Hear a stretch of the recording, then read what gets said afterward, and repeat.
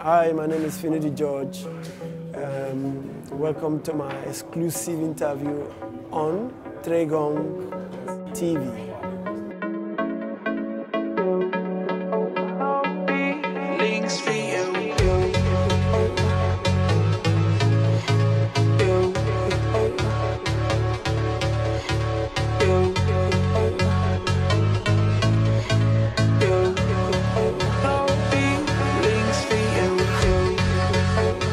Yeah, we all grew up like uh, um, normal children uh, in a neighborhood that was quiet. Um, and um, yeah, actually, we just play street football, you know. And um, I never knew I would one day be uh, a top flight footballer, you know. It all started my my siblings. Uh, two of my siblings used to play football for Nigerian Ajib Football Club, and um, I think they came to pick them up, and um, I just I told them, can I join you for training?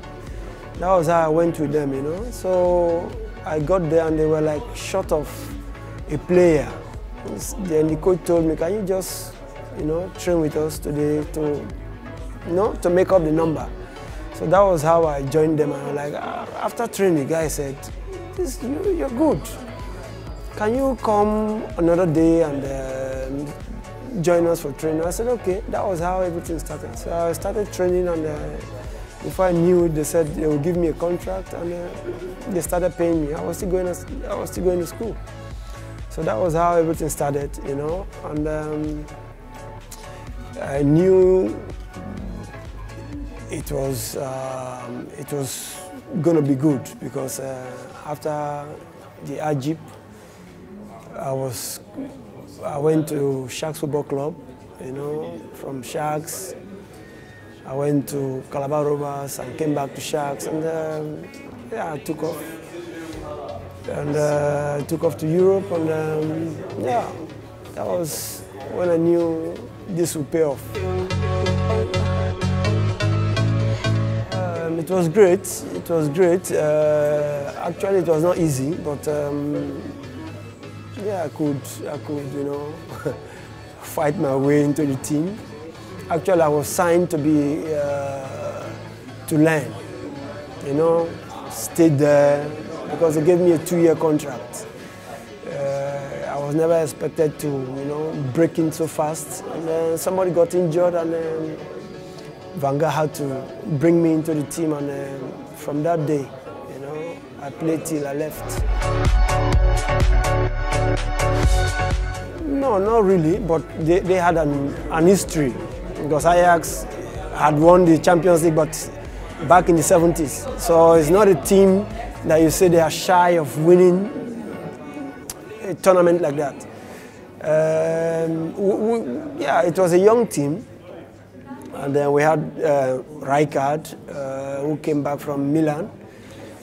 And um, we played, we just playing and um, taking it one game at a time. And then when we got to the quarterfinals, we like, wow, it's like um, it's really going well. So we pushed a little bit harder and then we got to the semifinals and um, you know, we said, yeah, we're almost there and then we got to the finals and I said, okay, let's see, you know, what's going to happen in the final. And uh, we played our football and uh, it was difficult though, but uh, we played our football and at the end of the day we, we could win the cup.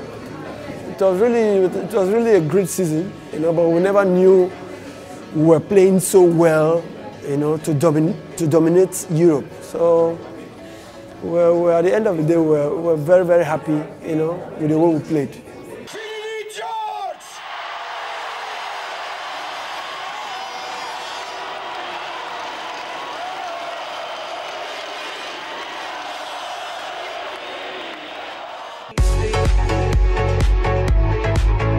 Oh, I was already there when he came, so I helped him.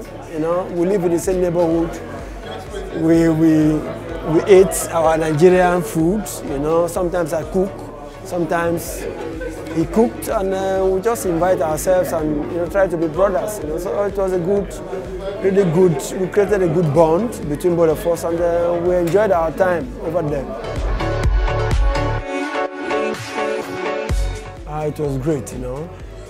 I never knew I would, I would end up in after leaving Ajax. I never knew I would go to Spain and play for Real Betis, but um, it, all, it, all, it all went good. It all went good.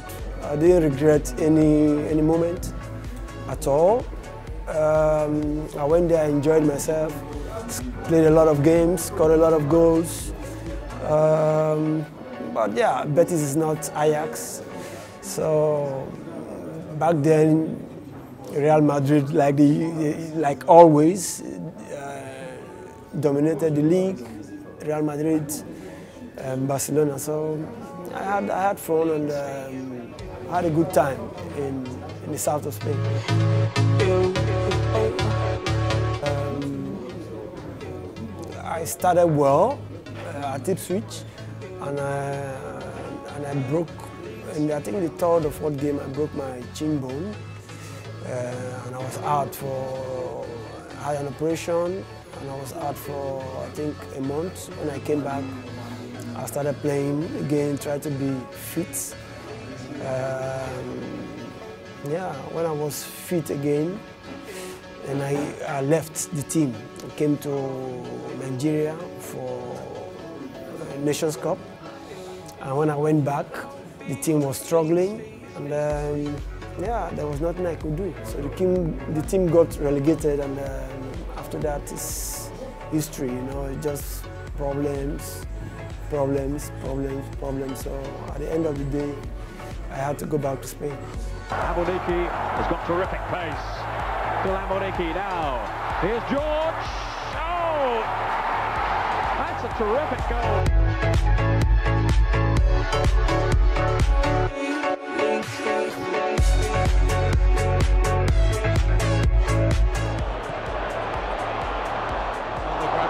little back flick. If George is in here with a chance, that is a magnificent chip. A quite brilliant goal. Before half time even. Moment in there with a very perfect chance for a shot. This one hits the net from uh, Finidi George. Absolutely marvelous goal here. Ipswich doing their best. Corner kick from Venus. Is anybody in there in the blue shirt? There is, and it's Finidi George. They said they were going to get a goal, and by word, they've got one. By George, they've got one. Yeah, we knew if we could just play our football, try and defend very, very well, we have, we definitely have our own chances uh, to score because we we had an attacking team, you know. So we just felt okay if we could defend, let them not um, have the, so many chances to score uh, against us, then um, definitely we'll, we'll have our chances, you know. So that was what happened. So we started playing and uh, we just felt, wow, this one seems a little bit easier than what we thought, you know. So we just grabbed that opportunity and uh, we went for it. No, no, I will not say that because before that we had the, the era of uh, Christian Shuku, Odegbami and Mudalawal, late Mudalawal and others, you know, so Adokia Mesimaka. So that was another good era, you know. So we came up and uh, ours was different because that was the first World Cup and uh, that same year we won the Nations Cup and we were going to the World Cup. So a lot of hype about the team, you know. And then we went there, we did well, more than more than what was expected of uh, what was expected of the team. So at the end of the day, that's why people say ah, that was the best team, and, uh, because we took football at the highest level, you know.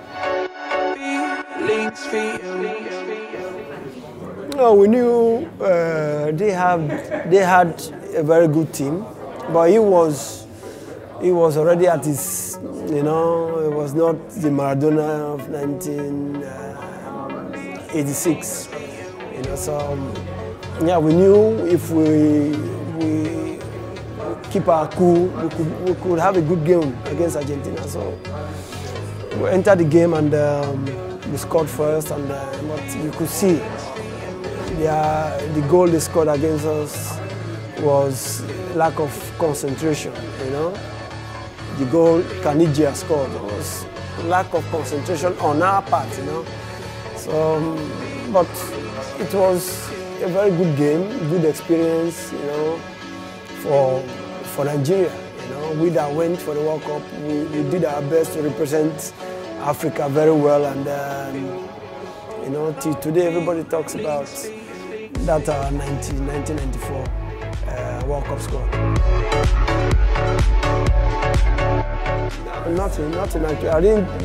It was not something that I thought about before the game, but you know, I was carried away. I scored a goal the World Cup. You know, I just felt, wow, this is crazy. You know, so that was what I was. Yeah, I was just running, and I was like, what am I doing? What am I doing? You know, I just, I was even surprised when I saw it later. Like, wow, is this what I did? but uh, yeah, it's a World Cup. You know, uh, emotions. You know, you score a goal like that, and. Uh, you try to celebrate it. Some people scream, some people jump, some people. I decided to, you know, uh, celebrate it that way, and um, yeah, some people took offense. You know that I was, you know, trying to mimic the dogs and what all sort of nonsense, and uh, that was not my intention. You know, I did what I was supposed to do, sc- score a goal, and then try to celebrate it, be happy with it. Um, ah, it was sad, you know, the, the, the, the one we hosted here, it was sad because we felt we are going to win it, you know. Um, but um, yeah, 94 felt, felt very, very good after a very long time. 80, you know, and then 19, about 14 years after we won it, so it was really, really good. Uh, in the 2000 and the 2000, 2000, 2000 Nations Cup, where we lost. We did very well, but um, it was sad that we lost in our, our home ground uh, to Cameroon.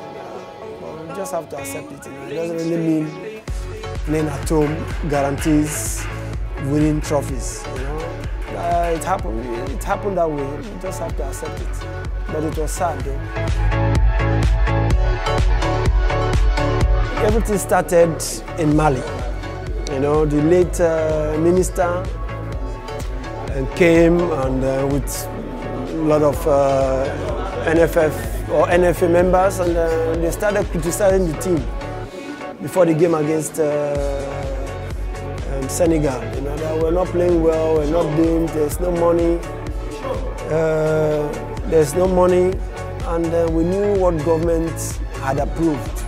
You know, so when they started complaining, we, Ulisse told them, we heard uh, you're not paying us our bonuses, but we heard government has released money for you, uh, or, or released money for the team. But we, we need to have it. You know? So arguments and arguments. So when we finally, uh, when we didn't win the cup, it was you know obvious that um, you know a lot of people were angry and they, they want to use that opportunity you know to you know put us aside or silence us. And um, that was what that was what they did. That was what they did. Uh, it was unfortunate and um, but after you know struggling playing all the games, if not all the games, you know, almost, and qualifying for the World Cup and not make it because of uh, sentiments, and I think uh, it was it was really bad.